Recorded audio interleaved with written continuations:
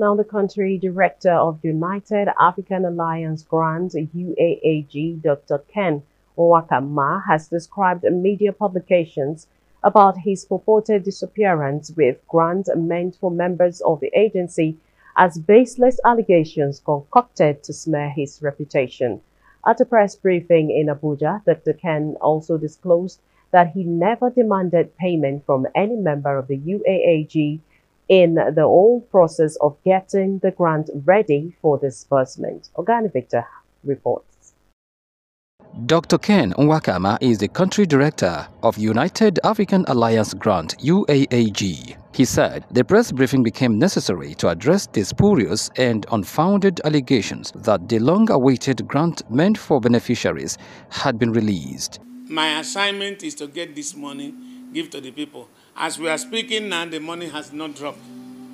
But there are so many enemies who just feel that God should take permission from them before appointing me to do this service. They are very angry, trying to blackmail me from different angles. I never collect money from anybody. I never ask anybody to pay me money. I've never made an announcement for anybody to pay me money. So when we get to the level we need to do verification, there was no fund. I now call for 100,000 naira loan from ben each NGO, not beneficiaries. Each NGO, they didn't pay money to register. So I told them to give us loan. We, there's a document to this effect, which we gave them. They collected and filled and signed, and they started giving us that 100,000 with intention we are going to refund it as the money drop. That is all about money I collected from anybody, and it is not Miss organization. It came to my NGO account. We use it and do the verification.